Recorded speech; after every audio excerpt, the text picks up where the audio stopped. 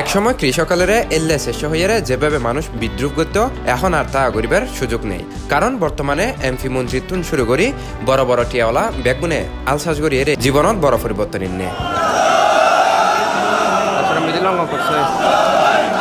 সারা জীবন জমিদারের ফয় হিসেবে পরিচিত চট্টগ্রাম তেরো, আনোয়ারা কর্ণফুলী আসনের সংসদ সদস্য, ভূমিমন্ত্রী সাইফুজ্জামান চৌধুরী জাবেদ কৃষি খাতত্ব নাই করে তিরাশি হাজার টিয়া, তিন দশমিক তিয়াত্তর একর জমি আছে তার। কৃষি খাতে সবচেয়ে বেশি আয় করে চট্টগ্রাম এগারো আসনের স্বতন্ত্র প্রার্থী জিয়াউল হক সুমন। এই খাতত তার বছরে আয় দেড় কোটি টিয়া, আর তার স্ত্রীরাই পঁয়ত্রিশ লাখ টিয়া। একই আসনের বর্তমান সংসদ সদস্য এম এ লতিফ কৃষি খাতত্ব নাই করে উনিশ লাখ পনেরো হাজার আটশো সাতচল্লিশ টিয়া।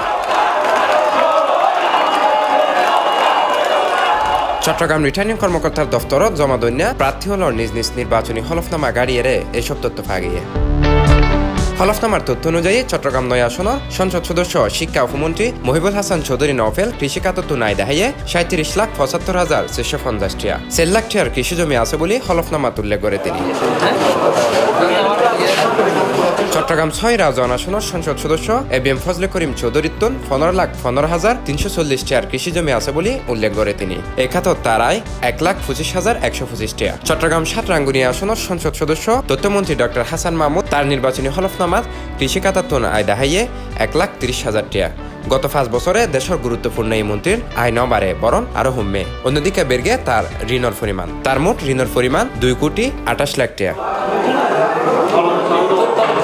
চট্টগ্রাম বারো ফটি আসনের আওয়ামী লীগের মনোনীত প্রার্থী মুতাহারুল ইসলাম চৌধুরী কৃষি খাতত তুনায় গড়ে পঞ্চাশ হাজার টিয়া।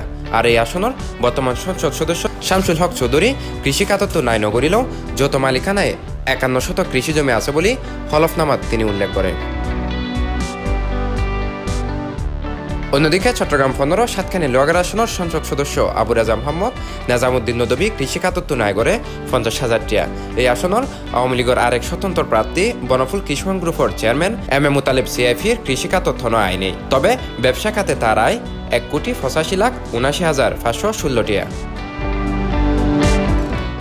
চট্টগ্রাম দুই ফটিকছড়ি আসনের প্রার্থী সৈয়দ সাইফুদ্দিন আহমেদ কৃষি খাতত্ব নাই করে এক লাখ তিয়াত্তর হাজার দুইশো টিয়া, দুই লাখ ছিয়ানব্বই হাজার টিয়া দামর কৃষি জমি আছে তার।